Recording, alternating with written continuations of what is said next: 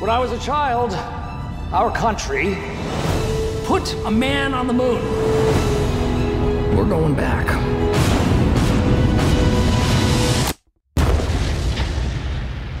Shit. How many times do I need to apologize? The president is creating a new branch In the United States military. Space Force, which Mark will run. I don't. Hmm. it has always been my dream to start something from the ground up. But space is hard. May I suggest that that become the new Space Force motto? How are you handling this? It's a little chaotic. And you're not the most flexible person. Are you running? Keep up. My main concern is our head scientist. This is the moon. Flat, desolate. The surface is actually a complex topography. Okay, thank you, Bill, the science guy. This is Space Force Head Media Manager. We're looking for American heroes. Let me be more clear. We're looking for people who look like heroes. No uggos.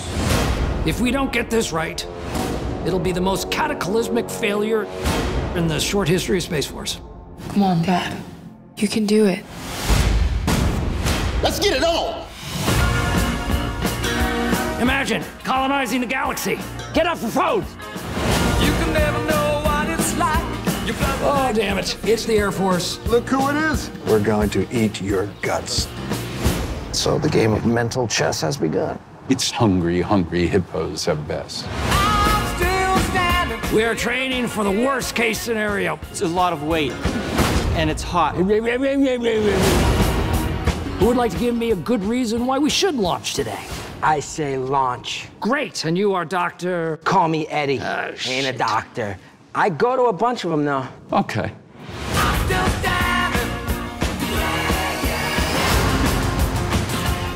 This mission will be our greatest moment. There will be setbacks. But if you fall on your face, you get back up. Dad, I am so proud of you. My God, I have you. We're gonna Apollo 13 the shit out of it. Space Force spirit.